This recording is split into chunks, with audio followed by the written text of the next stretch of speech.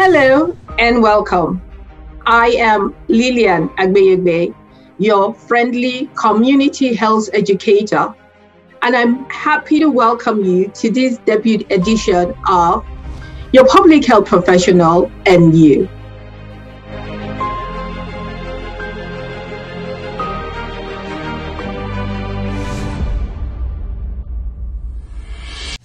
This conversation series is coming to you courtesy of the Maryland Public Health Association. The Maryland Public Health Association is the state chapter of the American Public Health Association. The Maryland Public Health Association has been around for a very long time, 1955 to be precise. And so, as part of our vision, healthy Marylanders living in healthy communities, we are having this series to close the gap between you, our community members, and your public health professionals. Every month, we will have a conversation with a public health professional working right here in Maryland. We'd like to understand what they do, how that benefits you, why you should be interested in what your public health professional is doing. And of course, because this is coming to you courtesy of the Maryland Public Health Association, we'll tell you some more about the association, how you can join if you're not a member. All of this is public health. So as you can imagine, we'll be telling you about public health and how you can go into the profession if that's not the field that you're working in now. Can you change career mid-course? We never know. But the public health professionals we are going to be talking to are going to tell us all about it. They're going to tell us about the work that they do, the connection of the work that they do to you, members of the public, and how you can be in their shoes one of these days. Again, I am Lillian Agbeyegbe. This is the debut edition of Your Public Health Professional on You, coming to you courtesy of the Maryland Public Health Association.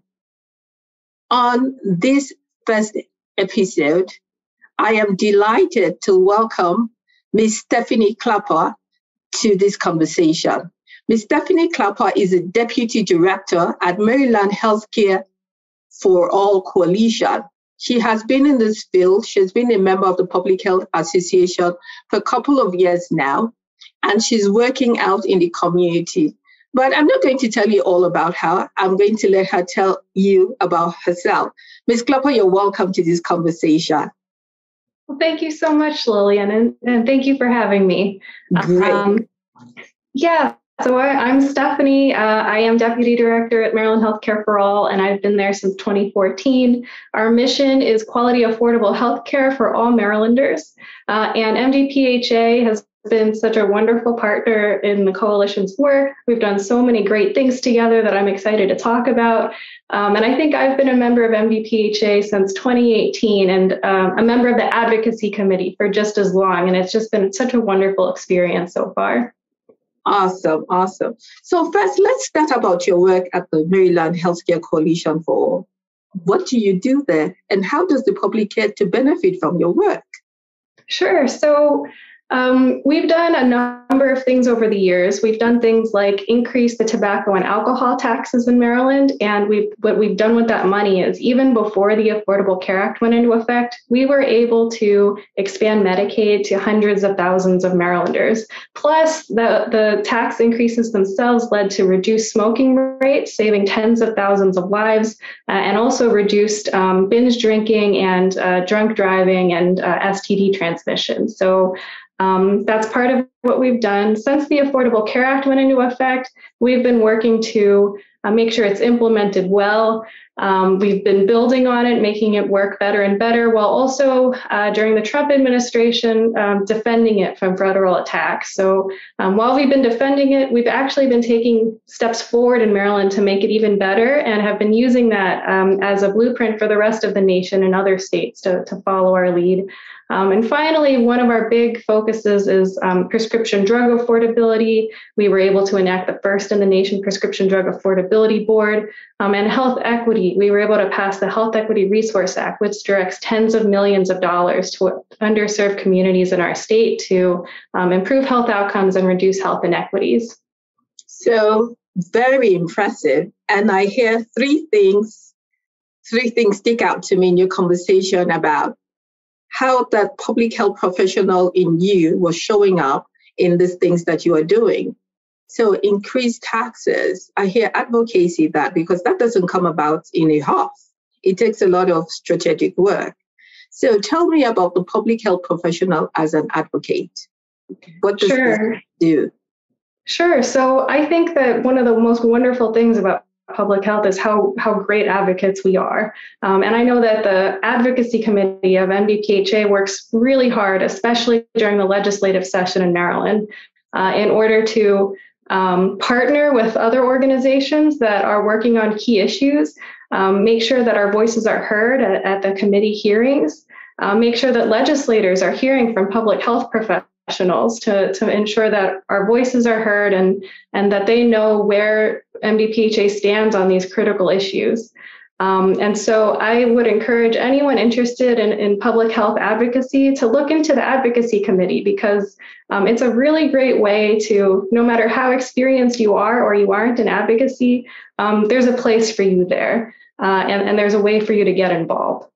Great. I also heard a little bit about collaboration in there. So public health professional, you get your work done through collaboration. You're actually at a coalition. So, how important is collaboration to the work of public health? And how do Marylanders get to benefit from the fact that you are working together with a bunch of other people? So we think that it's crucial. Um, first, within MDPHA, I think you have people from so many different um, professional and personal backgrounds. And that only brings strength because of all the different perspectives we bring. It helps expand the types of issues that we work on. Um, and it helps bring the personal voice to some of these issues. You know, legislators um, often hear from people about what the, the statistics are and, and the policy reasons for doing things. But individual members of MDPHA can also tell their stories about what they've seen in the field or what they've experienced in their personal lives. And make, bringing it, that personal story can make a really big difference. Um, and then beyond MDPHA, collaborating with other organizations is key. Um, we use a, a, Maryland Healthcare for All, we use a six step process to um, advocate for our proposals. And one of the steps is building a broad coalition with as diverse a coalition as you can from all across the state. So it's made up of um, faith, business, labor, healthcare, uh, and community organizations, and they're all working towards the same goals. So that is so awesome. Now, your average Marylander doesn't see you and when they hear public health, they're like, uh, I don't know who these people are. But you're actually working for them, aren't you? And all of these initiatives are things that the regular Marylander is benefiting from. So, can you work us through how a Marylander who has never met you or who will never meet you benefiting from the work that you're doing? Of course. So, one of the things that we want to make sure is that every Marylander has access to quality, affordable health care. Uh, and, you know, clearly that benefits the people who get covered um, because they're able to get the health care that they need. But actually, it also benefits all Marylanders because um, one of the sad things is that when people don't have access to health coverage, they often end up having to wait to get care until they need to go to the emergency room. And the emergency room is the most expensive place possible to get health care. And when people go and get their care in the emergency room, um, the uncompensated care that can often result means that everybody's health insurance premiums go up. And so the cost for everybody goes up. And so the, the work that we're doing to ensure that everyone has access to health coverage um, actually helps all Marylanders.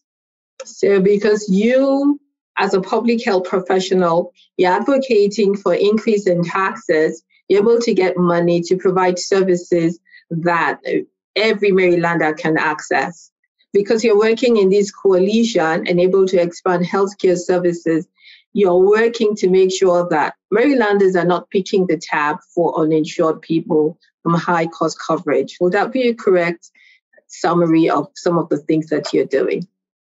Yeah, and, one thing that I would add to that is it's it's definitely there are ways to do it beyond increasing taxes. So um, one example is that there are a lot of people who are already eligible for free or very low cost health coverage, but they don't realize it. And so with MDPHA um, and Maryland Healthcare for All, we were able to advocate for uh, a checkbox to be added to both the state income tax return and the unemployment insurance form that asks, do you have health insurance? If not, do you want someone from Maryland Health Connection to help connect you with health coverage?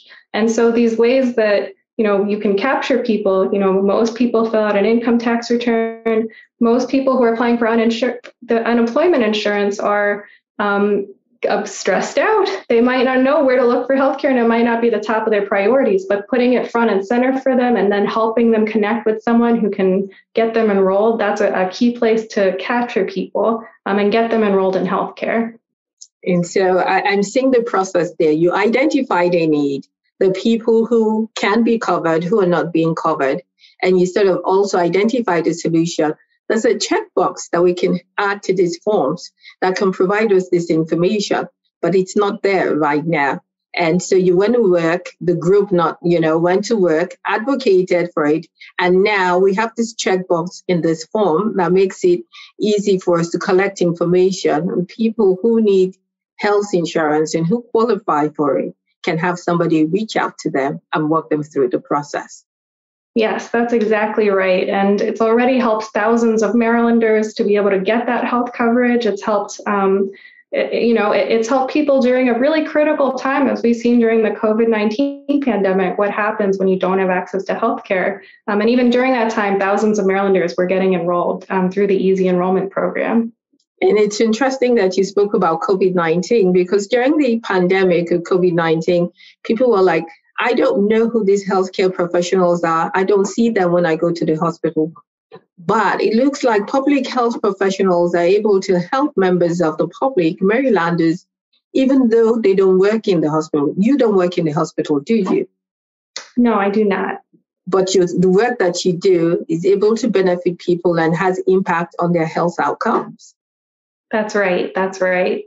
And um, I think that one of the great things about public health is, again, talking about those partners that you work with. And so um, it's important to partner with trusted voices within communities um, in order to advocate for the change that you want to see. And then also, once that change passes, to make sure to celebrate with them um, and to communicate the information so that um, so that you know regular Marylanders know about what's available to them. Awesome, great. Well, let's let's talk about getting here, getting to be a public health professional, getting to be an advocate, getting to be at the Healthcare Coalition for All, and getting to be in MDPHA. How did you start off? Did you always know that um, you were going to work in this field? And I see an opportunity for an interesting conversation actually, because you have a master's in social work, but you work in public health. And so what's that intersection between social work and public health? How do you prepare for one or the other? It's a good question. So within social work, there's what we call micro and macro social work. Macro social work, um, one of one of the key components is um, advocacy, and so and it's all about making sure that the most underserved in our communities are well cared for and have a voice. Uh, and so um, the way that I came into this work was I was taking a policy and advocacy course uh, during my graduate program. And I learned about Maryland Healthcare for All because uh, there was a book, and a couple of chapters from that book were assigned in my class called The DeMarco Factor. Um, and I read about all of this great work that I saw this organization had done um, and realized that I lived very close by. And so I reached out to them um, I started volunteering for them, and then eventually I was hired to work there. And so um, I actually learned about it through my social work coursework. Um, and uh, actually, 60% of our staff have masters of social work, uh, and we have regular um, social work students uh, internship program that comes through our office. And so um, I think that you know social work is a great pipeline to public health. I think there is a lot of overlap there. Um, and I'm so grateful to be part of MDPHA because, you know, there are professionals from all kinds of different backgrounds there. And I think we all bring a different perspective that makes um, our collective voice stronger. So what do you, that is so very impressive. So what did you start from though? So, because it was this textbook you were reading when you were in your graduate program, but it looks like you didn't start when you were young, did you think that this was the work that you're going to do? Did you always want to help people? Did you know public engagement will be an avenue for you to use your passion or calling? Or how did all of that? How did you grow up and end up in this field? Yeah, so I think that I always wanted to try to make the world a better place. Um, I didn't know exactly how I would get there. I thought about um, going into politics. I thought about uh, doing, um, you know, PhD level research. I thought about a lot of different things. Um, and I, one of the reasons I, I went to graduate school for social work was because I knew that there was a really wide variety of places that you could go from the School of Social Work. And so I thought I'll be exposed to all of these different avenues and I'll figure out what the best place for me is to make a difference. And um, when I read about the work of um, this organization, I just thought, this looks like a, an effective organization. They have a really clear strategy. They actually have a six step strategy for how they get policy proposals enacted.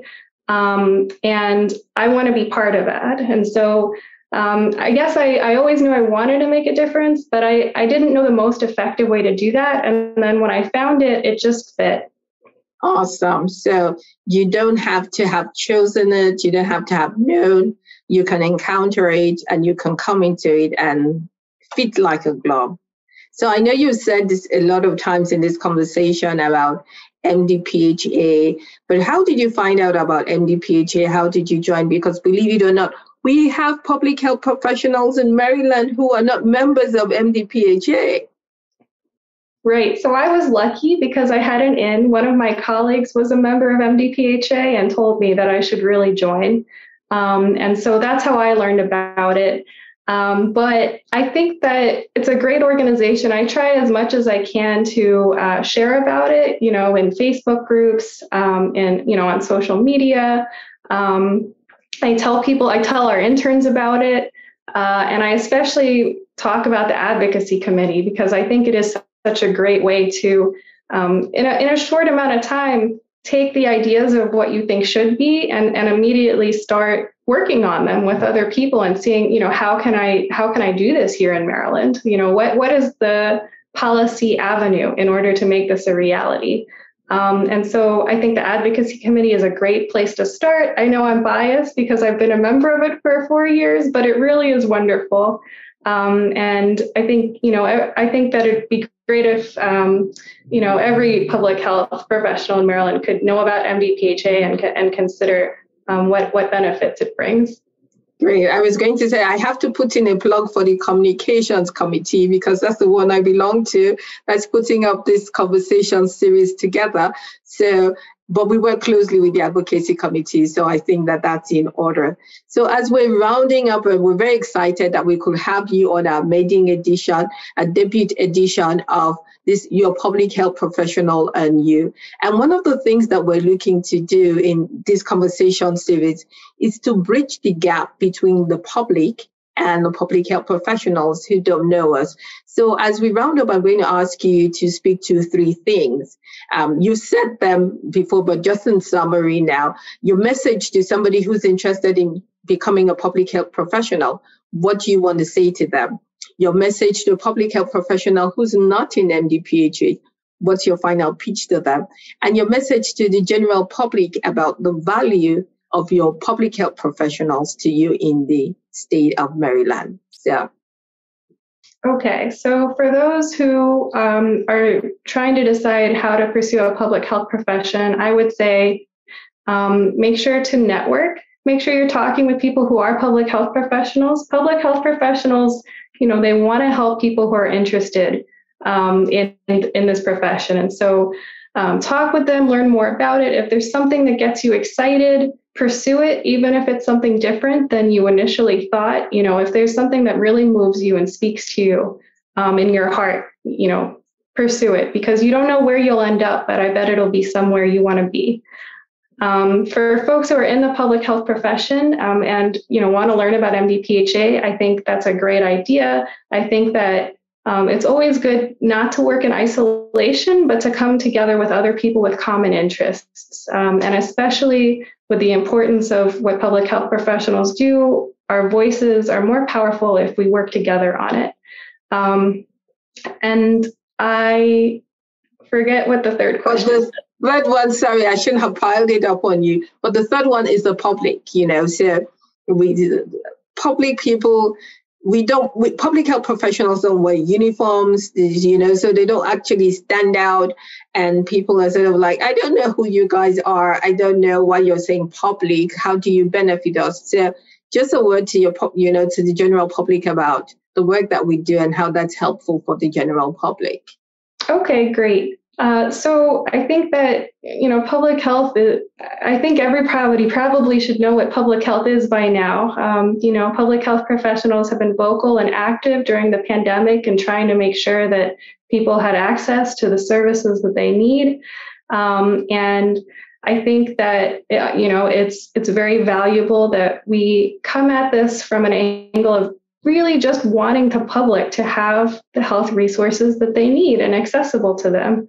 Um, and uh, I also think that you know make your voices be heard. Um, it's it's great to see what um, MDPHA is supporting uh, during the legislative session, I would say check it out. Look at what they're advocating for because, as a member of the public, it's probably something that will impact you, um, and hopefully, you know, is going to impact you for the better. And it might be something that you think is worth advocating for as well. Um, and so, I'd say, you know, don't just be a bystander either. You can get involved. Um, and if there's something you disagree with, you can let people know too. But um, you know, I think it, it's so valuable to to have this group of people working on behalf of the public and for the public, and um, I'm very thankful for for this profession. Awesome. So you want to check us out? You can do so. Go to our website www.mdpha.org. You have a question for us, a comment for us, you'd like to send in a contribution, you can do so. Our email getinfo at mdpha.org. I am Lillian Agbeyegbe, your friendly community health educator, excited to have concluded our debut edition of Your Public Health Professional and You, talking to Stephanie Klapper, the Deputy Director at the Maryland Healthcare for All Coalition. Until I come your way again next month, Thank you and stay healthy.